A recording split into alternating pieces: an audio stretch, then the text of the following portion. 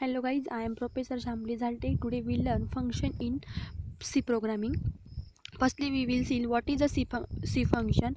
A large C function is divided into basic building blocks called as a C function. C function contain a set of instruction enclosed by the curly braces which perform a specific operation in a C program actually collection of these function create a c program. This is the basic definition of c program.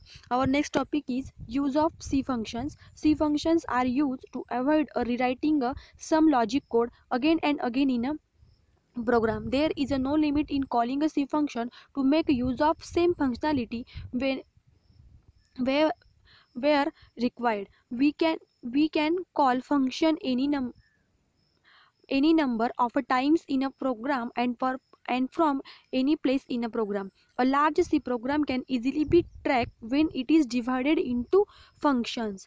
The, the core concept of C function are reusability, dividing a big, big task into small pieces to achieve the functionality and to improve the understandability of very large C program. This is the uses of C function. Our next topic is type of C function. C function can also classified into two categories. First is library function and second is user defined function.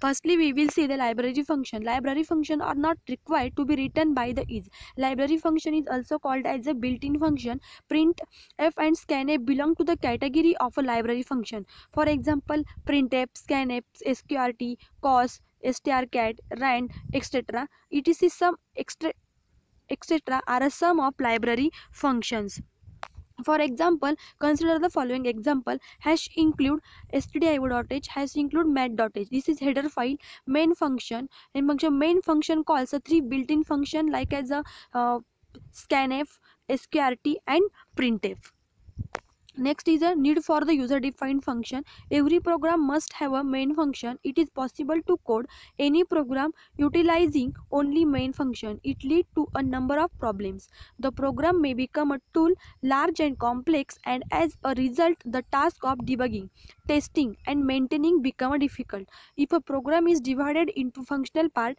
then each part may be independently coded and later combined into a single unit. These sub-programs called as a function are much easier to understand, debug and test. Next topic discuss elements of a user defined user defined function. There are three elements related to function. First is function definition second is function call and third is function declaration. Function definition means is it is an independent program module that is specially written to implement the requirement of the function.